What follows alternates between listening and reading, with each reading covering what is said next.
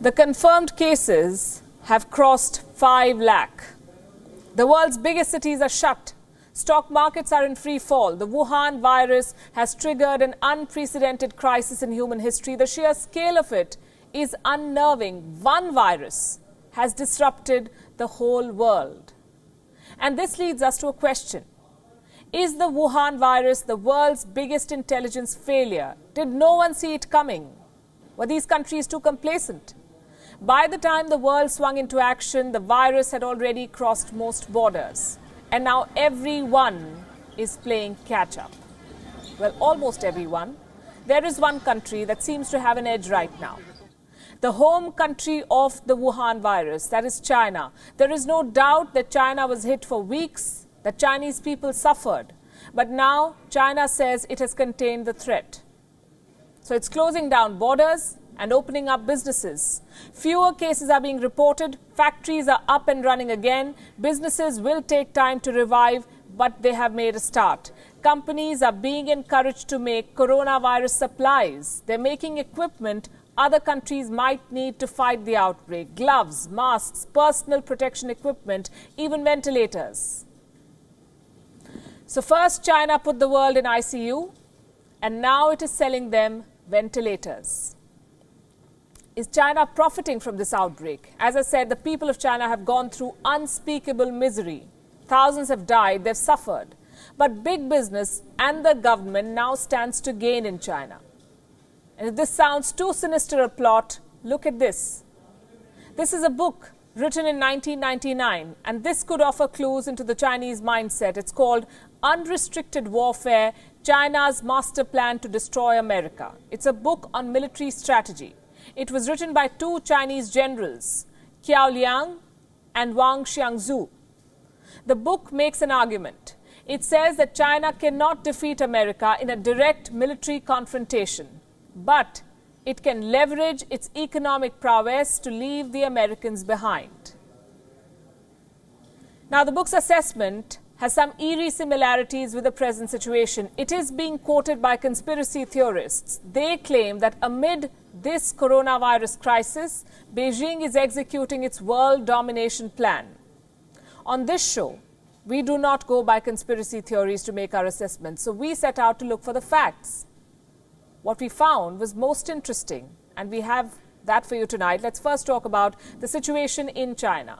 What is happening in China right now? Restaurants, zoos, even the Great Wall is open to tourists. Not foreign tourists, because they may bring back the virus, but the Chinese are out and about. As we say in television, they're moving towards normalcy. Restrictions are being lifted, factories are coming back online, businesses have resumed in many parts of China. At this rate, China's businesses will be up and running in a few weeks. Not without government help. Like most countries, China too has announced a relief package to revive the economy. Uh, uh, communicated the figure of uh, a totality of uh, 344 billion US dollars. Uh, in terms of uh, mainly fiscal measures. First and foremost, uh, we try to stabilize the Chinese economy. And uh, uh, with the measures we have started to take,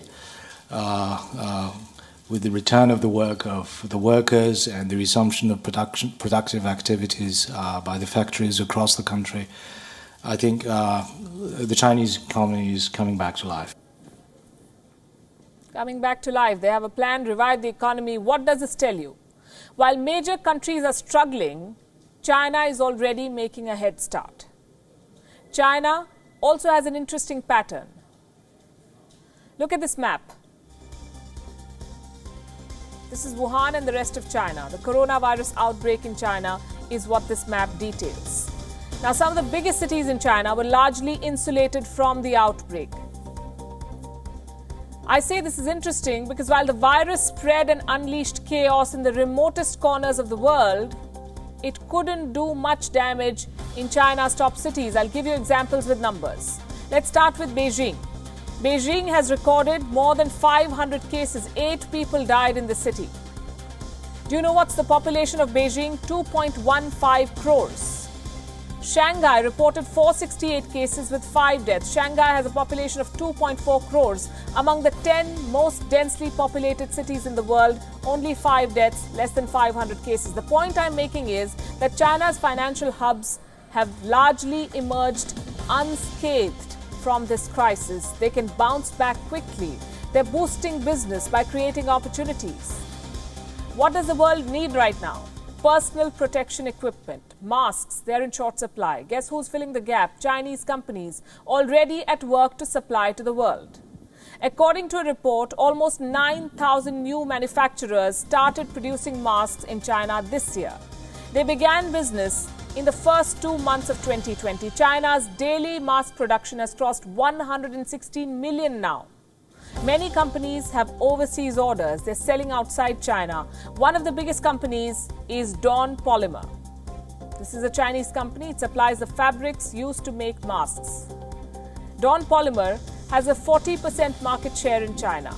And the value of its shares, the company's shares, has shot up by, listen to this, 417% since January, 417% in three months. The holdings of the company's founders now stand at a whopping $1.9 billion. The coronavirus crisis has only meant good news for their business.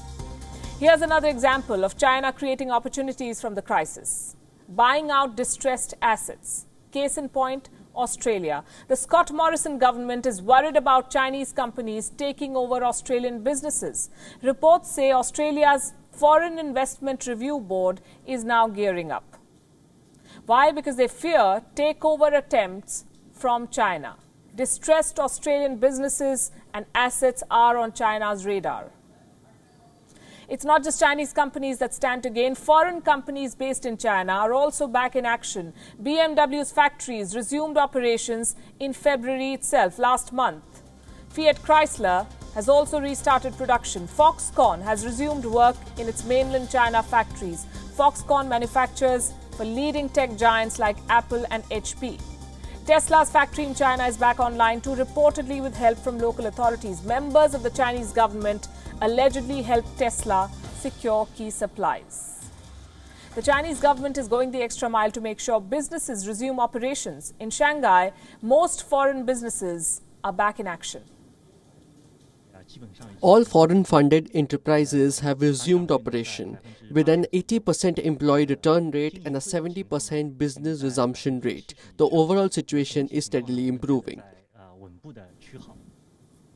So while it sounds crass to say that a company or a country profits from a pandemic, these are the bitter facts. China exported a virus to the world. Now the world is sick and China is selling them the balm. And while the world tries to heal, China is already up and running.